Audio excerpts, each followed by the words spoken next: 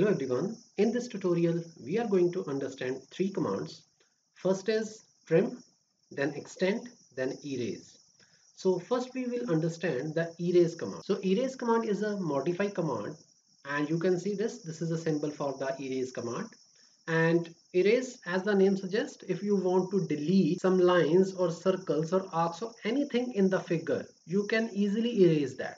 So let us suppose this is my default figure and I want to erase this top line. This line I want to erase. So with the help of left click of the mouse, we can select this command. Once I selected this erase command, in the command line bar, it will set that erase select objects. So let us suppose I want to erase this line. So once I go there and by left click of your mouse, it will be selected now.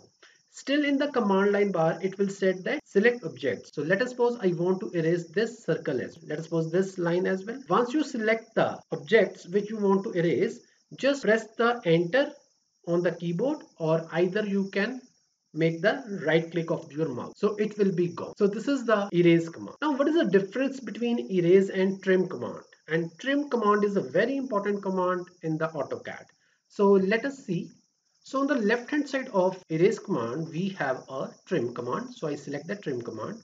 Now in the command line bar, it will ask you select objects. Now there is no need to select any object first. Just enter or right click and now whatever parts you want to erase from your figure, you can trim it. Let us suppose I want to erase the inner part of this circle. So just go there and select it. It will be gone. In the same way, you don't want this, just erase it like this. In the same way, let's suppose you don't want this line, which is connected between these vertical lines.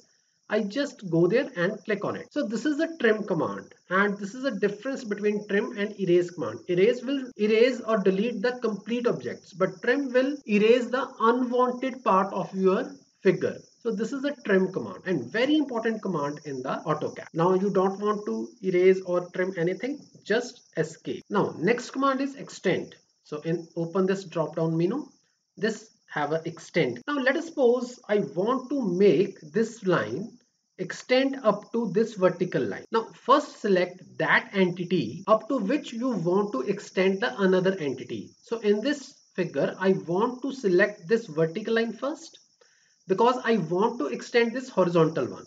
Now right click or enter then go to this line. See this once I go there it will show me that it will be extended to that vertical line.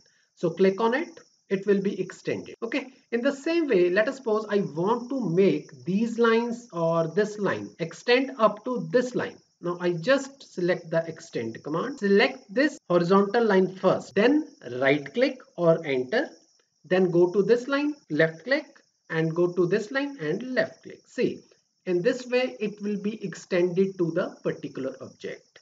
Now escape to come out of any command in the AutoCAD. So these are the three commands, trim, extend and erase. Very important commands and out of this, trim is the one of the important command in AutoCAD. So I hope you understand this tutorial.